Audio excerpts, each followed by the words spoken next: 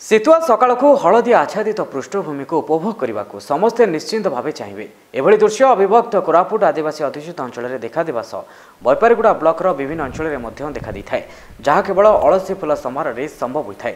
ସତେ ଯେପରି ପୃଥିବୀ ପୃଷ୍ଠରେ ପ୍ରକୃତି ରାଣୀ ଦ୍ୱାରା ସୁନାରେ ଆଚ୍ଛାଦିତ ହୋଇଛି। ସେପରି ଆଦିବାସୀ ଓ ଅଳସୀ ପରସ୍ପର ପରିପୂରକ ବୋଲି କୁହାଯାଏ କାରଣ ଅଳସୀ ବିନା ଆଦିବାସୀ ନାହିଁ କି ଆଦିବାସୀ ବିନା ଅଳସୀ ନାହିଁ।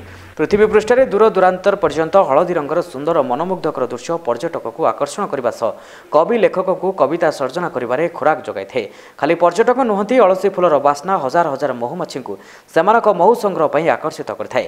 ଫଳରେ ଅଳସୀ ବଗିଚା ମହୁମାଛିଙ୍କ ଗୁଣୁଗୁଣୁ ଶବ୍ଦରେ ପ୍ରକମ୍ପିତ ହୋଇଥାଏ। ଯାହା ଥରେ ଦେଖିଲେ ଦର୍ଶକ ସେହି ସ୍ଥାନ ଛାଡ଼ିବାକୁ ଇଚ୍ଛା କରିନଥାଏ।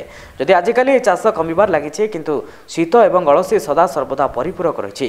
କାରଣ ଶୀତ ଆସିଲେ ଅଳସୀ ଆସେ ଏବଂ ଅଳସୀ ଫୁଟିଲେ ଶୀତର ପ୍ରକୋପ ବୃଦ୍ଧି ପାଏ।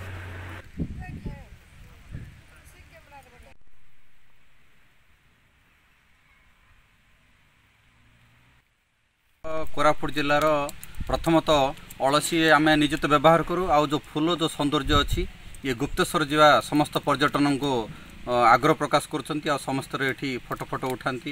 ଏବଂ ଏଇଟା ପ୍ରାୟତଃ ଆମର ଏକ ମାସ ଯାଏଁ ରହେ ଏ ଫୁଲଟା। ଆର ସୌନ୍ଦର୍ଯ୍ୟ ଉପଭୋଗ କରିବାକୁ ବହୁତ ଦୂର ଦୂରାନ୍ତରୁ ଆସନ୍ତି।